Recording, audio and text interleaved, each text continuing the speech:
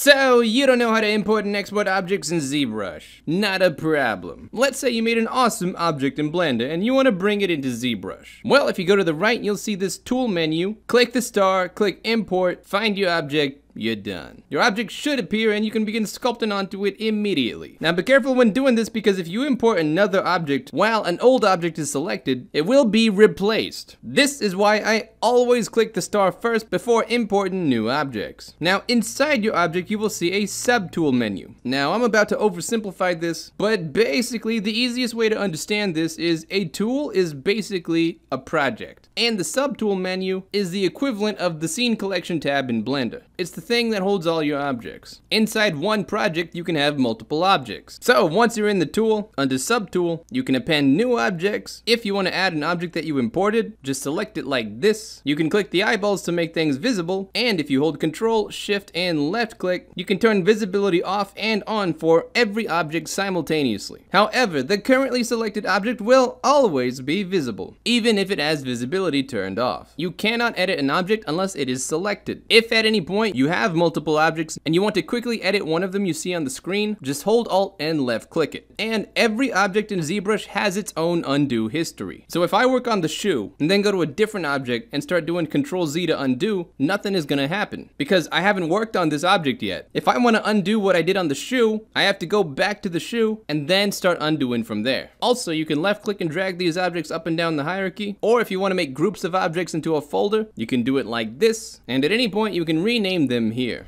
Now, let's say that you want to import multiple objects at the same time. You bought 100 swords and now you want to go through them in ZBrush. Well, to do that, go to Z plugin, subtool master, multi-append, select all your objects, enter, and it might ask you a few questions, just say compatible with Z to everything, and all your objects will be available. Hope that helps. And as always, hope you have a fantastic day, and I'll see you around.